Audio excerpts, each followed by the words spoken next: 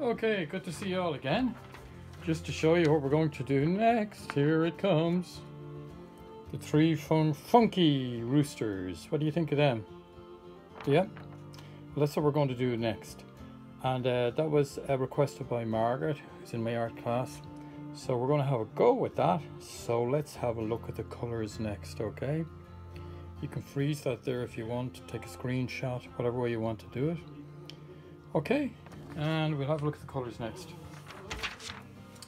Here you go. Here are the colours. Good to see you all again.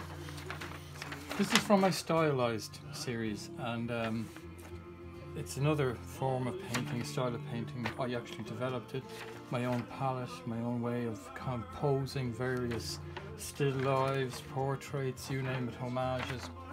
But first of all, the main thing about this, it's going to be a portrait shape. Okay, do you remember this idea about portrait, landscape? Okay, portrait, landscape. So we're going for a portrait shape because it is a portrait of three spectacular roosters. And what we're going to do is show you the list of colours. This the first video is going to be short just to go through the colours first of all.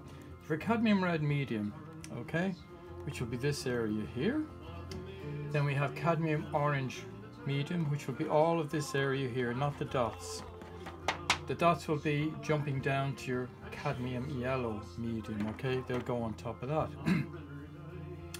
then we have the cadmium red deep, which will be all of this area down here. And then you finish it off with the dots of cadmium red medium.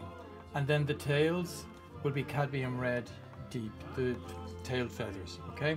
And then obviously you can see the cobalt blue will be our base, you know, probably my, you know it's my favorite color at this stage, okay?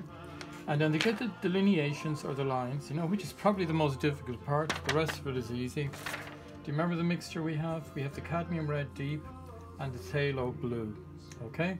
So if you want to focus on that there, get those colors down, you know, take a screenshot of it or whatever, or, you know, play the video over again. And as soon as I, I'll switch off and then I'll get ready to start the first video with this. Or three funky roosters. Okay good to be back. See you soon